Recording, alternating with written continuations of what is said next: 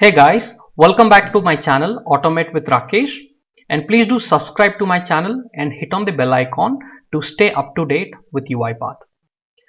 In this video, we are going to loop through the rows and columns of an Excel file in UiPath Studio and after looping through the data, it should, you know, while it's looping through the data, it should enter these values. For example, 100 should be entered here and then 256 should be entered in the second one and hit on accept.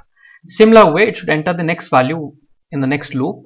It should enter 200 and then it should enter 152 here in the on us check and hit on accept. So this is the use case. So let, let me run the workflow which I have created and then we are going to see how this one is functioning and we will learn how to design that okay. I'll be very happy to design this specific automation. So I've started the execution.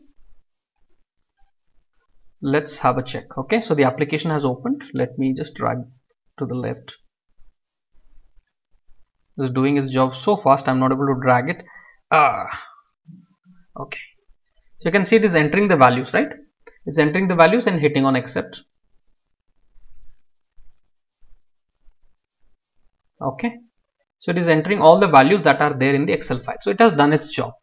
So how to design this how it can enter you know these values into the application let's learn okay? I'm going to delete everything that i've designed and i'm going to start from the very beginning. Now for this you need two different things. One is this application okay? This application exe file i am going to provide in the description. I am going to provide a link.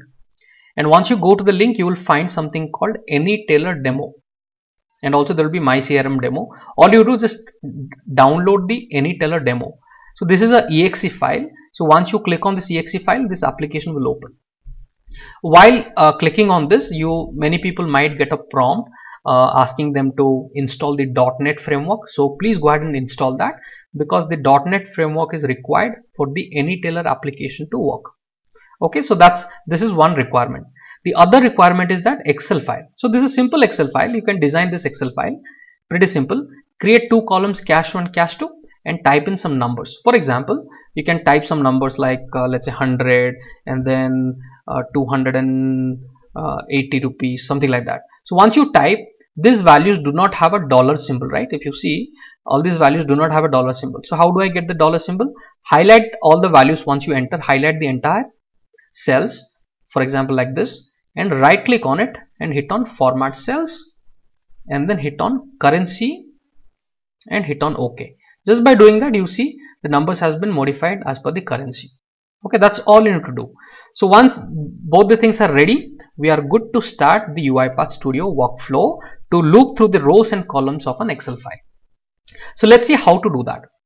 Now because this is a Excel uh, automation all I have to do simply type Excel okay? And here you will find lot many activities. The very first activity you should drag and drop is excel process scope. Okay? And inside this excel process scope you should drag the next activity use excel file. Okay? These are the very important steps. Excel process scope within that i should drag and drop the use excel file. Okay? And then let's point out to the file where it is available. It is there in my documents. Automate with rakesh. This is the file name i have pointed out. Done. After that nothing to do. Then in the do section of this i am going to drag and drop another activity to loop through the data. So here is the activity for each excel row. Drag and drop this for each excel row. Okay. Let me show you the properties. Uh, let me pin this. Okay. All right. Now for for each excel row activity there are two things very important. First thing it is asking in your excel file which is the range where the data is there. All you do hit on this plus sign. Hit on the excel and hit on indicate in excel. Okay? And once you do this you should be able to find the ribbon on the top. Here you can see UiPath ribbon is there and here automatically it should come. If it is not coming try to restart your excel file.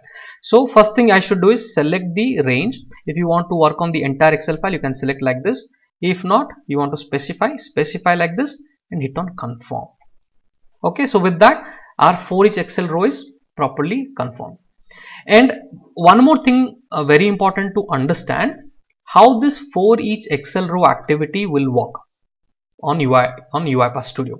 So how this one is works, there is a variable called current row.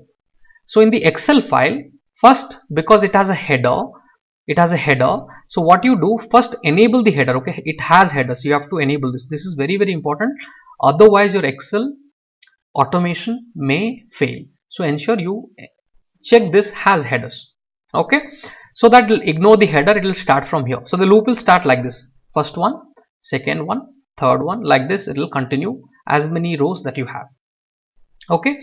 Now while it continues like this what would happen? The current row variable right? The current row variable is going to hold the values of number of columns that is there. So right now we have only two columns. So it's going to the current row variable is going to hold these two values first. Then in the second time when the loop runs it is going to hold these two values. Then these two values. Then these two values. Like that it will continue. Okay? So the current row variable on UiPath Studio is very very important. So remember this point. Okay? We are going to use this variable in the later stage of this workflow. Okay so now I am in the for each row. Now which application that I have to work? I need to work on this XYZ bank bank application right? Now to work on this all you do first open this application and then go back to the studio. So the application is there in the background. If I do alt tab this application is there right? Okay. So to work on this application there's an activity called if you type use application there's an activity called use application in browser. Drag and drop this activity. Okay? And then the next thing what I should do hit on indicate application. And then it is going to highlight automatically for you. And you should see a green color. If the green color is not coming try to reopen everything once again. Or reopen the application once again. Or reopen this UiPath Studio once again, the green color should come. That means it is working fine. Okay, so click on this application. Just by doing a single click, it is going to automatically pick the name of the application, which is form AnyTeller. It is going to pick where this exe file exists on your system. It is going to have that path automatically for you. And that's all. Okay, that's all you have to do on this one. And here on the property side, there is one more important aspect I will let you know here if you click on open right for this activity here in the property panel there is something called open so there is an option here uh, never if not open if not open it will open it. That is the meaning okay? So if you highlight it tells you defines whether to open the target application before executing the activities activities inside this. So if you highlight there's a gray box coming right? If you read that.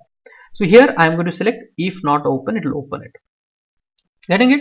Okay and once that is done, what is our second task? It should enter the data in cash in, then it should enter the type the data into the second box and then it should hit on accept. These are the three different actions it has to perform. Type in in the first one, type in in the second one and click on the accept. These are the three different actions that our automation should perform. Now to do this, all I will do, I'll simply look for the activity called type into okay type into activity. So this type into activity is important. So drag and drop. The type into activity. Okay. So once you drag and drop what you do hit on indicate in apps from AnyTeller okay. So this has come. And here you need to select the target element. You need to select the target element and then select the left side. You have the cash in you select that and hit on confirm. That's it okay? So that way it understands hey this is the place where I should you know uh, this is the place where I should go and type the details. So here they type this what to type. What to type you need to mention it here. So as I said the current row variable right in the for each loop I said you this is the for each loop this variable is very important. So in the current row for this specific set uh, this specific uh, area which data I would like to enter? I would like to enter this particular value which is there in cash 1 column cash 1 so to do this all I have to do go back to the studio. And here I have to simply put a code. And inside the code I have to write in the double quotes I have to write the column name. Column name is cache 1 ensure you are not making any spelling mistake. And then you should type dot to string to convert whatever the data it is coming from the excel it should convert itself to dot to string. After that you need to click on this triangle and hit on tab. Why tab is required tell me? Because if you go to the application if i'm typing any any value inside this one right? And if i the moment i hit on tab it will go to the second box. So that's why i am enabling tab. Okay let me delete this. Go back. Now to enable tab uh, all I have to do hit on this and type T and the tab should come hit on this. So but for some reason it's not working fine on my screen. So I am going to first do a control X. I'm going to remove what I have typed. I'm uh, doing a control X and then uh, I'm typing tab selecting this. So what is happening? Like this it will come. After this what you do right before this k plus tab copy paste the value that you have entered and hit on the plus. So this is the right format okay? So let me show you in a bigger screen. Um, okay. So this is what you should type. Current row your column name dot to string plus and then k tab. This is the exact syntax that should you should type. So that should actually happen after typing by hitting on tab but for some reason it's not happening. It's erasing my data. So that's why i'm doing it this way. So this is clear okay. So once this is clear it will empty the field every time it's typing. Click before typing it will do a single click. That's all. That's all about it. Okay. So this is well done. What is the second area that it should type in our application? It should type into the on us check. Now to do that to enable that i will again do a copy paste of this application rather than doing everything from the beginning. Copy paste this activity. Click on this and then hit on indicate target on screen and I'm going to select the second box and I'm going to select the appropriate anchor. Okay and hit on confirm. Done. And here instead of cash 1 row number the second column here is cash 2 right? So let me type cash 2 here. I'll go and type cash 2 this is the second column name Simple. That's all. Let's go back to the main workflow. So there are two type into activities that we have entered. One with the cash one pointing out to the first column, one with the current row cash two pointing to the second column of the Excel file. So this way it is going to loop through the data and type the data from the rows and columns of the Excel file. After that, the third activity, what is the third thing? It should go and click on this accept button, right? For that, which activity am, am I going to use? I'm going to use the click activity. Drag and drop the click activity. Once again, same way, highlight on that and where you should click, you should point it to that specific button and then you should select the anchor. Go to you know, move your mouse to the left and then hit on the anchor. So this becomes a nearby indicator. This is the anchor and nearby this is the target. So it will understand accurately. Okay, that's why we are doing this okay so once this is done uh, it is going to hit on the click single click it will do and done. And again it will go to the loop. It'll, it will pull the second value and again will type. Okay so our workflow is completely designed. Hopefully you have designed this. Now let's run it okay? To run this what i will do i'll minimize everything and then let me hit on. If there is any error we will try to fix that okay? I have hit on run. Wait for a few seconds. The automation will start. You can see it has started and now it is entering all the values. Do you see? It is entering all the values from the rows. It is looping through rows and columns in excel and entering the values. Getting it? So this is how you can design the entire workflow. Hopefully this video should have added a lot of knowledge and I also told you how to download this uh, to download this application. I'm, I'm providing the link of this application in the description of the video. Please do download this and do this exercise. So once you complete the exercise please do let me know how was your experience in creating this automation um, right? Uh, do let let me know at least if you have completed this activity or not. If you have completed this mention I have completed this activity. It will be very nice. I'll be glad to read through those comments. So thank you guys. Um, you know before we um, before we go please do subscribe to the channel in case you have not done it. Please do subscribe and hit on the bell icon to stay up to date with UiPath information and knowledge.